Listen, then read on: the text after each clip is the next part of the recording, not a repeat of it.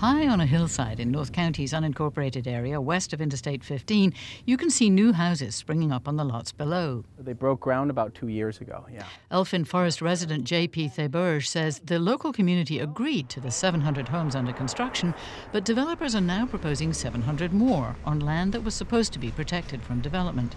And he says none of the homes will be affordable, even to most middle class families. Some of these projects should have at least 20% of their stock of affordable to the median income.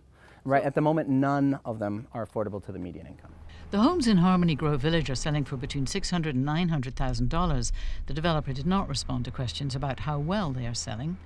In the last year, the county has approved slightly more than a thousand new housing permits, but is poised to open the door to 10,000 more in the next three months. Theberge says the supervisors are under such pressure to encourage new development, they've found a way to circumvent a limit on how many changes they can make to their general plan for growth. State law does limit the amendments to the general plan to four per year. So what they've done is they've come up with a, a, a technique or a, a tactic, uh, depending how you call it, uh, where they, they are going to hear multiple general plans at once, and then they're going to treat that as one amendment. This is one of the pieces of property that the County Board of Supervisors will be voting on.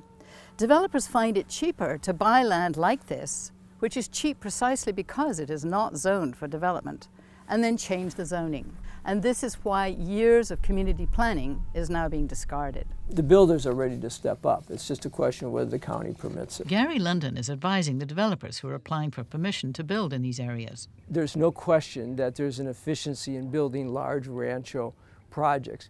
The problem is today that most developments are smaller because we've run out of land. In fact, the only land that's available, whether it's zoned correctly or not, is in the unincorporated areas. That's why there's so much pressure to try to make some of that land available uh, for development. London says developers cannot get approval even in urban areas that are zoned for development.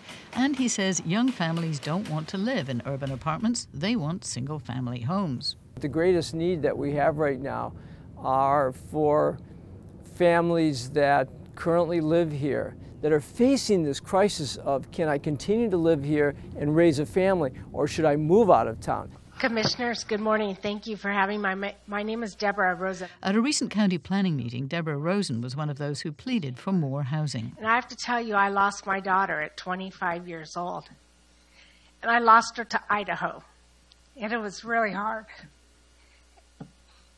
When she left, I said to her, "I will help you with a down payment here, San Diego."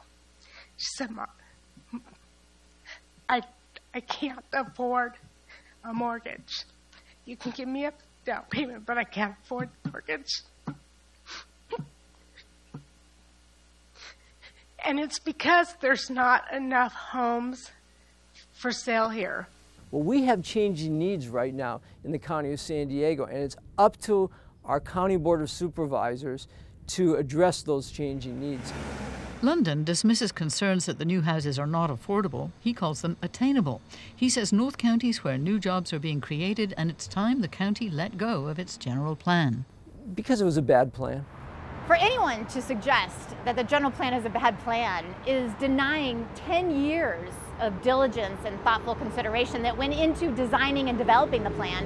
And there was consensus amongst all the stakeholders that it we were creating the housing that we needed and that we were creating the transportation infrastructure that we needed. Nicole Capretz is with San Diego's Climate Action Campaign. Yeah. She says sustainable planning encourages infill development and transit like the rapid bus service up Interstate 15, not giving wholesale approval to developments in far flung parts of the county, generating longer commutes. Not only is it troubling that the county is considering major sprawl projects to add housing where it's not supposed to go, but it's even more troubling that the county is abusing its power and undermining their own process that they set in place to ensure that there was thoughtful consideration of any amendments to their general plan.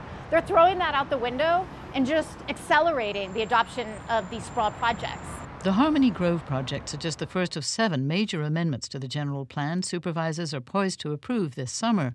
Theberge says if they really want to address the shortage of affordable housing, they should require some affordable housing in return for granting the waivers. So the idea is if you're going to give away uh, sound planning and, and, and kind of throw the whole process away, basically, because that's what this is. 10,000 houses is basically saying we don't care about the general plan anymore. Let's just randomly build as much as we can everywhere and anywhere at all cost. Then you need to at least secure something from the developers on that. The supervisors will consider more than 5,000 new homes in North County and more than 4,000 in Otay Mesa.